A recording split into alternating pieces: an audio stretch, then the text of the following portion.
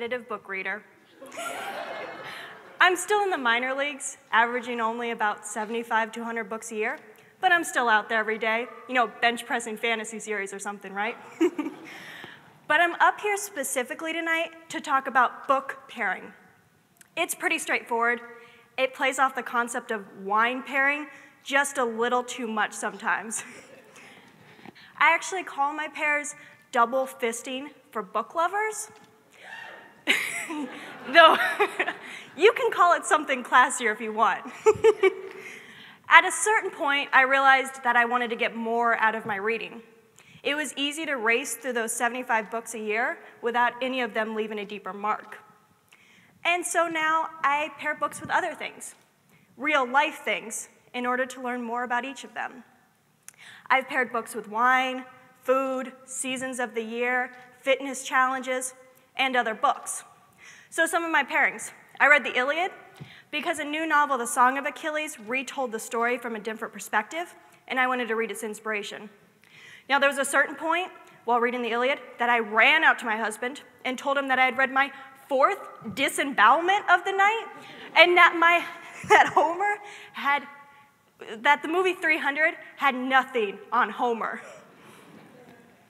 However, I was also stunned to see how this ancient author had used metaphor to create something so beautiful from death.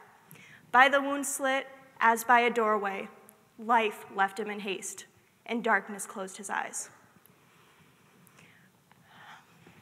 I read The Great Gatsby, and with the help of some great friends at Total Wine, we found three amazing alcohols to pair with the book. Now, now that idea for The Great Gatsby, it started with pairing alcohol with a book, progressed to a girls and guys champagne and martini nights, to my mother-in-law then handing out copies of the book and bottles of the champagne as presents together. She's over there, you should be her friend. I read The Dovekeepers, and I connected to that book by cooking lentil stew, which they're always cooking in that book. Note to self, don't add pork sausage to a stew that you're pairing with a book about ancient Judaism. I read My Life in France by Julia Child and Blood, Bones, and Butter by Gabrielle Hamilton to compare two women who made their lives in the kitchen and how the intervening years changed their stories. I didn't want to buy a file cabinet. So I took the ideas from David Allen's Getting Things Done and incorporated them into my life by using Google Drive and Google Calendar. Let this go.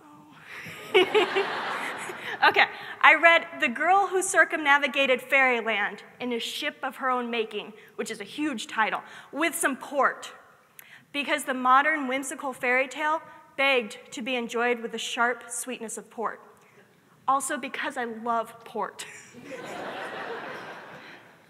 Eventually, I wanted to get behind the story to what authors thought, and I read On Writing by Stephen King in the broad collection of author interviews from the literary magazine The Paris Review. So, I pair books because I think we all need to add another layer to the way we think about reading. And let me tell you what happened. I did more. I read more, yes, let's not get past that. But I also went to more author readings, on Friday nights even. I created pairings that required me to get input from others who knew more about the subject. Sometimes I would just bring up the idea of book pairing to people, and it would start a conversation about all the books that they'd loved and what they would want to pair them with. It turned out to be a lot more interesting and fulfilling than just sitting and reading books, you know, by myself. So for my final pairing tonight, I've put together some kind of swaggy bookmarks with recommendations for all of you, because I'd love a chance to meet all the other book lovers out there. yeah. I have recommendations for sports fans, literature snobs, business people, foodies, geeks, and especially all the people who loved reading about the tonal differences in the color gray. So come see me after the show to get one. Thank you and enjoy your pairings.